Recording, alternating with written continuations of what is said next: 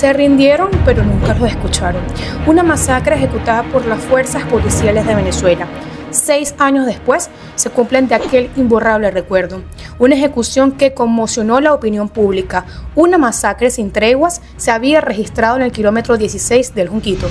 Lo que comenzó como un supuesto operativo para capturar a Pérez y su grupo terminó siendo una ejecución extrajudicial transmitida en vivo por las redes sociales. Hoy los venezolanos recuerdan aquella masacre donde fueron más de 500 funcionarios contra 7 venezolanos que se rindieron y jamás le perdonaron la vida.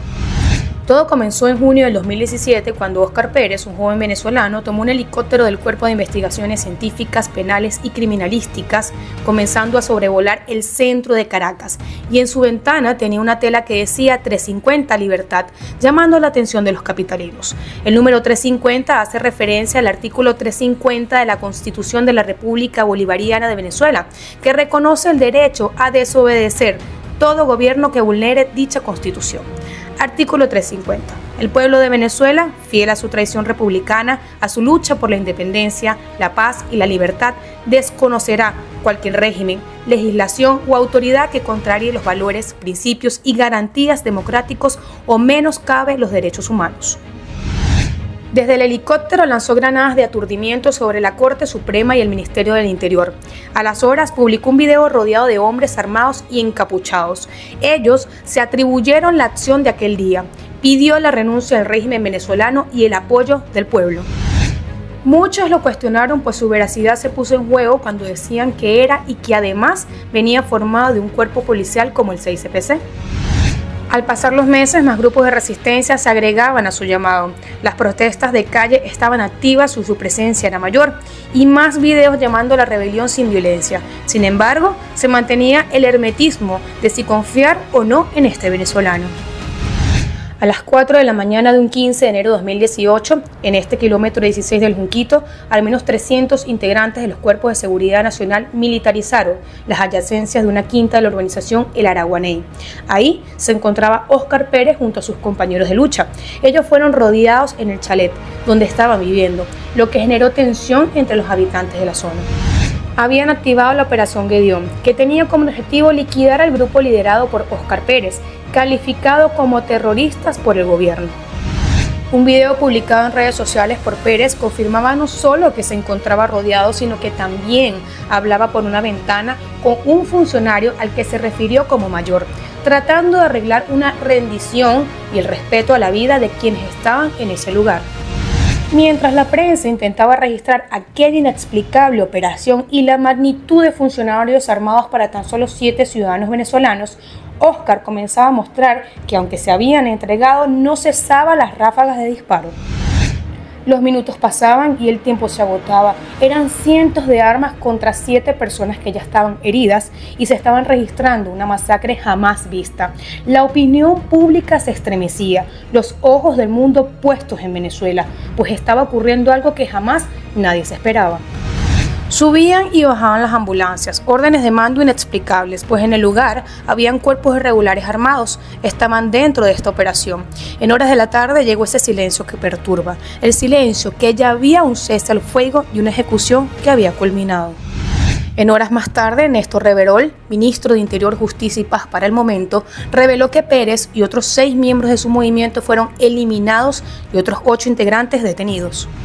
Después de ese pronunciamiento por Reverol, Venezuela pudo evidenciar que tras los videos publicados por Óscar Pérez y sus seis compañeros rindiéndose, lo ocurrido en el Junquito fue una masacre, una ejecución o decían entre voces muchos de los oficiales en el lugar es una orden de arriba.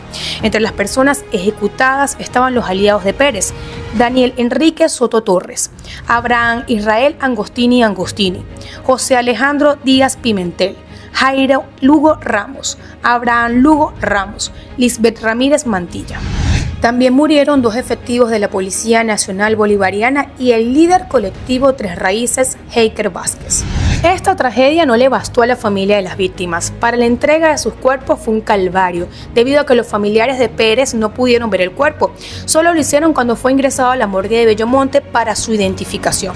Algunas fuentes en el momento indicaban que las autoridades pretendían cremar su cuerpo sin consentimiento de sus familiares, incluso enterrarlos en el punto más alto del cementerio del Este, sin que sus allegados pudieran enterarse, al igual que Pimentel y Agostini.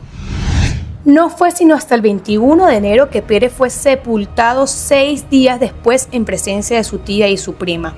Después de seis años, todavía hay siete familias sin justicia, siete familias quienes le arrebataron a sus seres queridos venezolanos que fueron ejecutados sin piedad. Han pasado los años y el caso de la masacre del Junquito ha llegado a instancias internacionales. La Comisión Interamericana de Derechos Humanos presentó el caso 14.178 respecto a Venezuela ante la Corte Interamericana de Derechos Humanos. El 11 de octubre de 2023 por las ejecuciones extrajudiciales de Oscar Pérez y otras seis personas por parte de agentes estatales en 2018 durante la denominada masacre del Junquito, así como la situación de la impunidad de los hechos.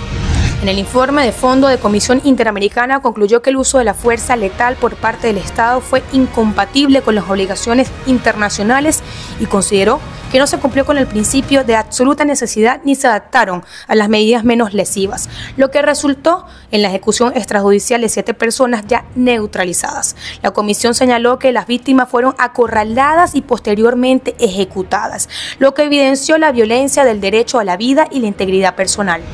En cuanto a las garantías judiciales, la comisión observó, entre otros elementos, la falta de documentación sobre la apertura de una investigación junto con la denominación del lugar de los hechos y la ausencia de preservación de la evidencia.